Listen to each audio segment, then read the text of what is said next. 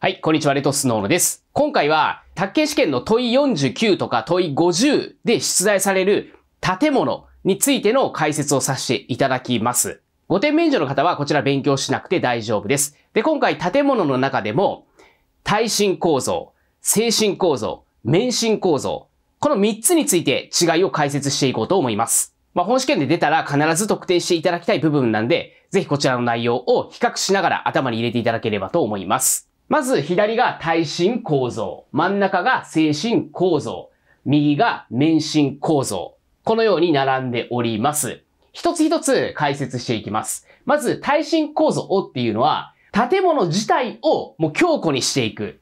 つまりもう建物自体を頑丈にしていくといったイメージなんですね。例えば建物のこの中ですね、ここに筋階を入れる。筋階っていうのはこういうものですね。このように入れることによって、建物自体が強くなりますよね。あとはこの接合部分ですね。まあ柱とかがこうくっついている部分とイメージしていただければと思うんですけども、こちらに金具をつけたりとかするんですね。プレートをつけて、で、そこにボルトを入れたりとかして、建物をどんどんどんどん強くしていく。これが耐震構造です。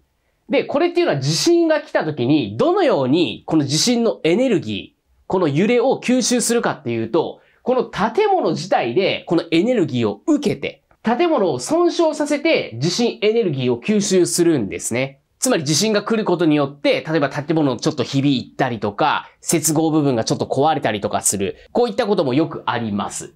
これが耐震構造です。で、続いて精神構造いきます。で、精神の心っていう字なんですけれども、まあ、振動の心ですね。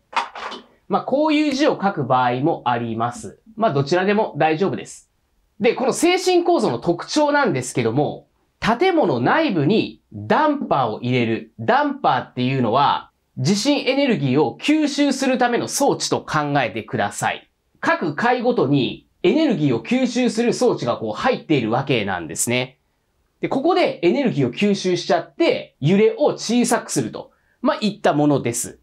で、キーワードは、建物内部にダンパーを入れるというとこなんですよ。内部に。ここをちゃんと頭に入れておきましょう。で、この静止装置、まあ、ダンパーですね。ダンパーを入れることによって、揺れはどのくらい低減するかっていうと、70%から80%に低減されるんですね。つまり、地震っていうのは中規模程度まで抑えることができますよ、ということです。これ70%から80%に低減できるということは、どれだけ減少させたかっていうと、20%から30%建物のエネルギーを減らすことができたってことです。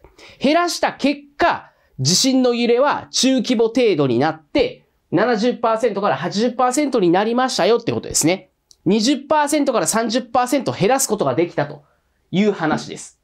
で、一方、免震構造っていうのは、建物と基礎の間にダンパーを入れるんですよ。ここが大きな違いなんですね。ここを引っ掛けてくる場合非常に多いです。免震は基礎と建物。まあ、基礎ってまあ地面って思っていただければいいです。まあ、地面の上に基礎を作るんですけども、その基礎と建物の間にダンパー入れるんだ。つまりダンパーを入れる場所が違うんだってことですね。ここ注意しましょう。で、これも同じく、このダンパーで地震の揺れを吸収します。ここの下がこう揺れても、ここで吸収して、この建物の揺れはちっちゃくなるということですね。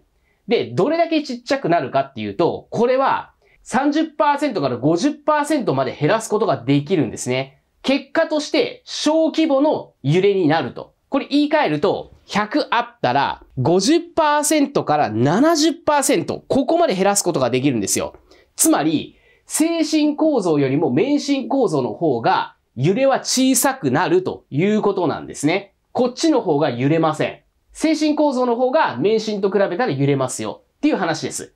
この数字もちゃんと頭に入れておきましょう。これが耐震、精神、免震の違いです。今この線で引いている、緑の線で引いている部分ですね。ここが重要なキーワードになってきます。耐震構造は建物自体を強固にするんだ。で、地震が来たら建物を損傷させてエネルギーを吸収するんだってところですね。で、続いて精神構造については、建物の内部自体にダンパーを入れるんだ。で、ダンパーを入れた結果、中規模程度までエネルギー、揺れを小さくすることがで揺れを小さくすることができます。具体的には70%から80%に減らすことができる。免震構造っていうのは、それよりも揺れがちっちゃくて、30から50まで揺れを減らすことができる。これは小規模程度の揺れになりますよってことで、ダンパーを入れる場所は基礎と建物の間なんだ。基礎と建物本体の間なんだ。ここをしっかり頭に入れていただければと思います。そして弊社レトスは個別指導を行っております。このように言葉では分かりづらい部分でも図を書いてイメージしていただけるとすごく分かりやすくなると思います。また勉強の計画及び進捗管理、どこまで進んでいるのか、1週間に1回勉強ができているかの確認をさせていただきます。一人一人の課題を明確にして個別に対応させていただき、二人三脚で合格を目指します。もし次の試験で絶対合格したいというのであれば、ぜひ個別指導ご検討いただければと思います。あなたの受講をお待ちしております。宅建合格目指して一緒に頑張っていきましょう